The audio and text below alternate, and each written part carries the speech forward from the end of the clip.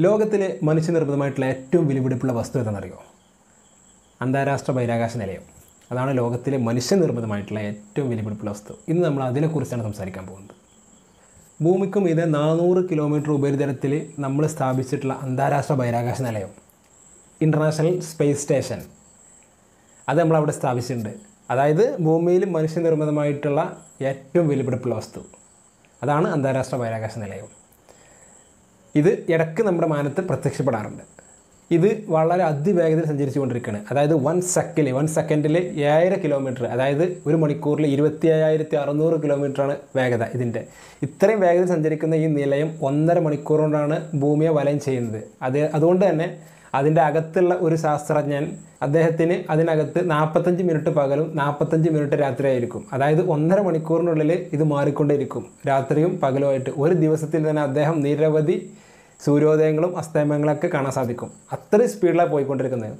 അപ്പോൾ ഈ നിലയം ഭൂമിക്ക് മീതെ സഞ്ചരിച്ചു കൊണ്ടിരിക്കുന്ന സന്ദർഭത്തിൽ പകർത്തിയ കുറച്ച് വിഷ്വൽസാണ് നമ്മൾ കാണാൻ പോകുന്നത്. അപ്പോൾ ഇത് കാണുന്ന സന്ദർഭത്തിൽ ഇതിന്റെ അവസാനം എൻഡിൽ നിരവധി വർണങ്ങൾ ആകാശത്തിൽ നൃത്തം ചെയ്യുന്ന പോലെ നമുക്ക് തോന്നും. പച്ചയും നീലയും മഞ്ഞുമായിട്ടുള്ള നിരവധി വർണങ്ങൾ അതിന്റെ ഡീറ്റെയിൽ നമുക്ക് ലാസ്റ്റ് പറയാം. ഓക്കെ നമുക്ക് വീഡിയോ ഒന്ന് കാണാം.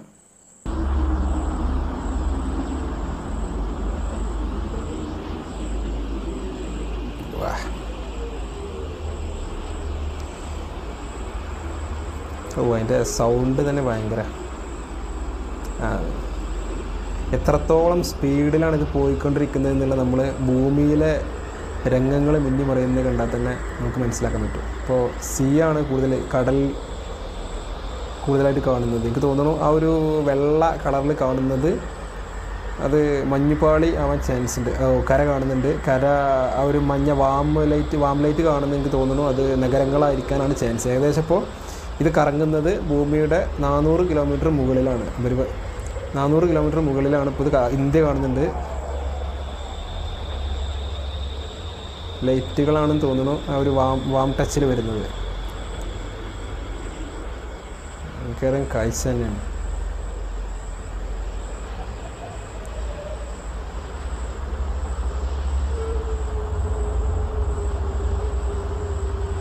ഇത് മഞ്ഞുമലകളാണത്. മഞ്ഞുമലകളും കടൽ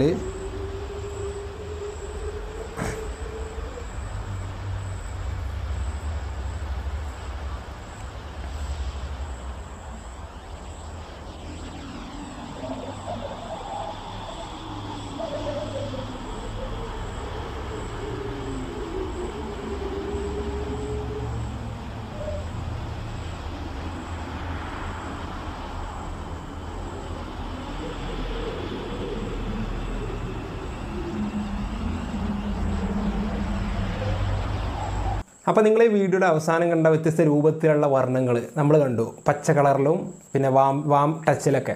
അതിൽ യഥാർത്ഥത്തിൽ എന്താണെന്ന് വെച്ച് കഴിഞ്ഞാൽ നമ്മുടെ ഈ ധ്രുവ പ്രദേശത്തിൽ കാണപ്പെടുന്ന അറോറ ബൊയാലിസ് എന്ന് കാണുന്ന ഒരു പ്രതിഭാസമാണ്. അത് എന്താണെന്ന് വെച്ച് കഴിഞ്ഞാൽ സൂര്യനിൽ നിന്നും നിരവധി ചാർജ് ചെയ്യപ്പെട്ട കണങ്ങൾ ഭൂമിക്ക് നേരെ വരുന്നുണ്ട്. സൂര്യനിൽ നിന്ന് അടിക്കുന്ന കാറ്റ് ഒക്കെ. ഇത് ഭൂമിക്ക് നേരെ വരുന്ന സന്ദർഭത്തിൽ നമ്മുടെ ഭൂമിയുടെ കാന്തിക മണ്ഡലം അതായത് ഭൂമിക്ക് ഒരു മാഗ്നറ്റിക് ഫീൽഡ് ഉണ്ട്. ആ കാന്തിക മണ്ഡലം ആകർഷിച്ച് അത് ഭൂമിയുടെ അന്തരീക്ഷത്തിൽ എത്തുന്ന സന്ദർഭത്തിൽ ഭൂമിയുടെ അന്തരീക്ഷ അന്തരീക്ഷത്തിലുള്ള വ്യത്യസ്ത വാതകണങ്ങളുമായിട്ട് അത് കൂട്ടിയെടുക്കുന്ന സന്ദർഭത്തിലാണ് ഇതേ രൂപത്തിലുള്ള പച്ചയും ചുവപ്പും നീലയും ഒക്കെ പ്രകാ പ്രകാശങ്ങൾ സൃഷ്ടിക്കപ്പെടുന്നത്. ഈ രീതിയിലുള്ള പ്രതീതി അവിടെ നമ്മൾ കാണുന്നത്.